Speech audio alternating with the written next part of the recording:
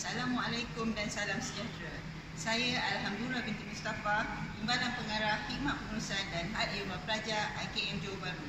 Selamat datang pelajar-pelajar baru ke IKM Johor Bahru bagi sesi November 2020, April 2021. Terima kasih dan tahniah sekali lagi kerana telah memilih kami sebagai pusat laluan kerjaya anda. Kita berjumpa lagi pelajar-pelajar sekalian. Saya akan memperkenalkan dan memberikan taklimat ringkas berhubung IKM Johor Bahru yang bakal pelajar akan duduki setelah merapul diri secara fizikal. Taklimat ringkas ini akan saya maklumkan secara uh, ringkas sahaja supaya uh, para pelajar dapat memahami dan mengenali serba sedikit di manakah IKM Johor Bahru. IKM Johor Bahru telah ditubuhkan pada 1 Oktober 1973 dengan keluasan 42.5 hektar di mana ia meliputi 14 program kemahiran, bangunan pentadbiran, kuartus kaki tangan dan asrama pelajar kita terletak di lokasi yang sangat strategik iaitu 5 km daripada Bandaraya Johor Bahru dan 25 km daripada Bandaraya Iskandar Puteri. Ini merupakan plan lokasi IKM Johor Bahru. Dan yang saya tunjukkan kepada para pelajar sekalian merupakan plan kawasan IKMJP di mana pelajar akan merasai dan mengenalinya apabila berada di IKMJB Kelab.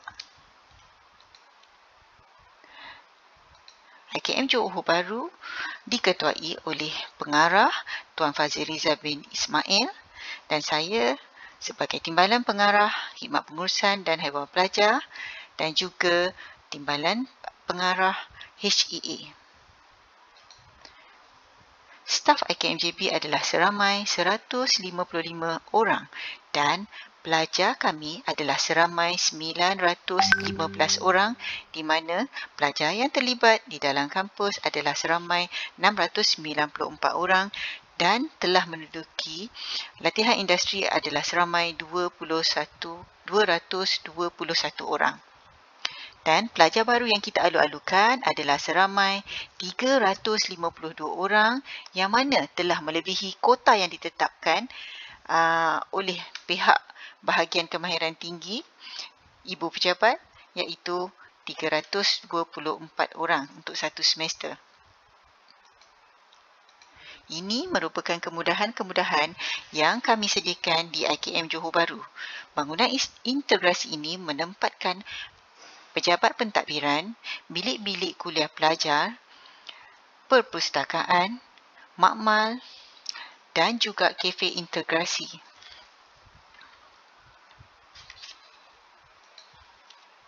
Ini merupakan bengkel kerja amali bagi para pelajar di mana setiap kursus yang dijalankan di sini akan terlibat dengan latihan amali. Dan seperti mana yang saya maklumkan, ini adalah makmal komputer di IKMJP. Pusat sumber adalah merupakan pusat rujukan bagi para pelajar untuk mengulang kaji uh, modul-modul yang berada di dalam TVET. So, gunakanlah sebaik mungkin perpustakaan di IKM Johor Bahru. Kita juga mempunyai sebuah dewan yang besar di mana boleh menempatkan kapasiti pelajar seramai 800 ke 1000 orang pada satu-satu masa iaitu Dewan Takzim. Dan jangan risau para pelajar sekalian, jika anda lapar, kita ada menyediakan tiga buah kafeteria di IKMJB ini dengan menawarkan harga yang sangat berpatutan. Jangan risau, anda tidak lapar di sini. Selain itu, kita mempunyai sebuah surau yang mana surau Al-Hidayah ini telah pun mendapat kebenaran untuk mendirikan solat Jumaat yang mana surau ini boleh menempatkan 250 orang jemaah pada satu-satu masa. Tetapi bagi uh, kita menangani uh, penjarakan sosial di musim COVID-19 ini pada-pada satu masa kita boleh menempatkan seramai 115 orang sahaja jemaah. Ya, ini merupakan asrama putra dan putri di mana adik-adik akan ditempatkan. Kita mempunyai lima buah asrama putra dan dua buah asrama putri. Di asrama putri ini kita ada sediakan uh, katil single dan juga almari iaitu loker dua pintu lah untuk kemudahan para pelajar sekalian. Dan untuk uh, sebarang hiburan, kita juga uh, telah menyediakan TV dan juga siaran Enjoy untuk adik-adik nikmati sekiranya tiada kelas ataupun kuliah dijalankan. Ya, ini merupakan bilik air pelajar lelaki. So, jangan risau, bilik air kita semua lengkap. Dan yang bagi uh, kita ada masalah untuk membasuh baju secara manual, kita ada menyediakan hikmat Dobi layan diri 24 jam untuk kemudahan pelajar-pelajar sekalian dan boleh digunakan sepanjang masa. Ha, ini yang paling penting saya rasa tuan-puan nak tahu kan?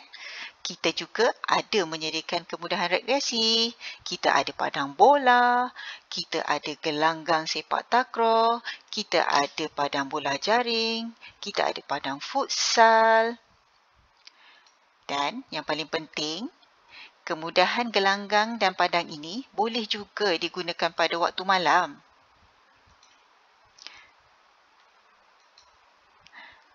Dan pada waktu malam, uh, ini adalah uh, gambaran lah yang adik-adik akan lalui.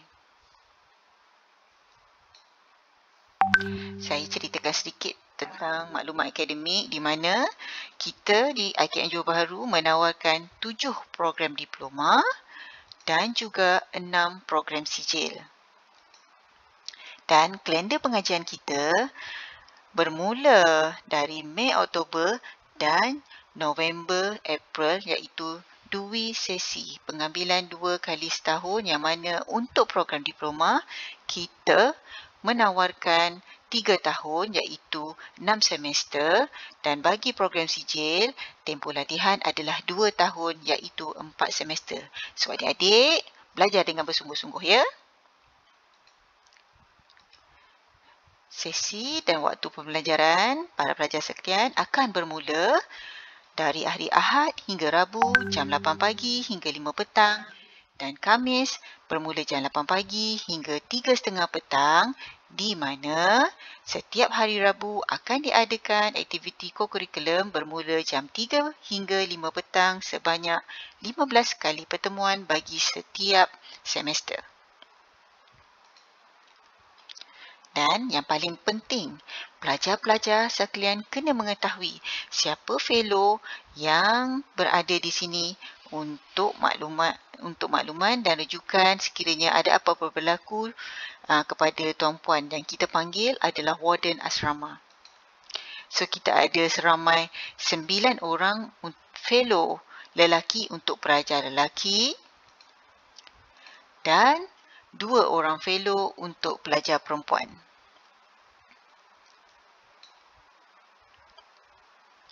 Tak dilupa juga, kita juga menyediakan pelbagai aktiviti untuk para pelajar. Di antaranya adalah Majlis Penyampaian Watikah Pelantikan MPP iaitu Majlis Perwakilan Pelajar, khusus kepimpinan Majlis Perwakilan Pelajar, Majlis Bacaan Yasin dan Solat Duha, seminar inspirasi iaitu seminar motivasi bagi menggalakkan tuan-puan belajar dengan bersungguh-sungguh.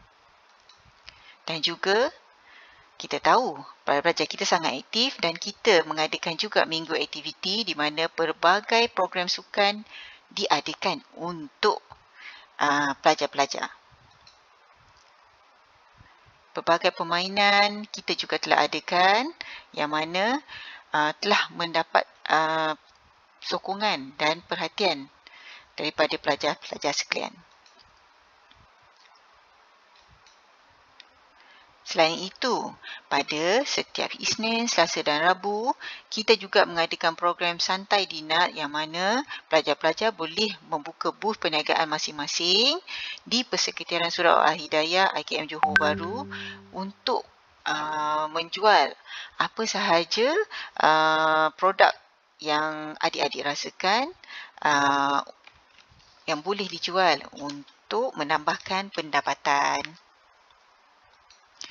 Ha, selain mendapat, menambah pendapatan, di setiap hari Isnin, Selasa dan Rabu juga, perpustakaan kita juga dibuka untuk uh, di, untuk pembelajaran uh, atau mengulang kaji pelajaran dan menjadi rujukan di waktu malam. So, gunakan kemudahan ini sebaik mungkin. Selain itu, program-program keagamaan seperti majlis berbuka puasa dan program iftar bersama pelajar juga kita anjurkan di sini. Tak lupa juga pertandingan hafazan Quran serta pertandingan nasyid dan kita juga ada juga tilawah Al-Quran. Dan saya rasa ini adalah program yang paling para pelajar gemari adalah program khidmat masyarakat bersama komuniti setempat. Dan gunakan peluang ini untuk berkenalan dan menambahkan latihan atau skill adik-adik apabila berada di IKMJB bersama komuniti, komuniti setempat.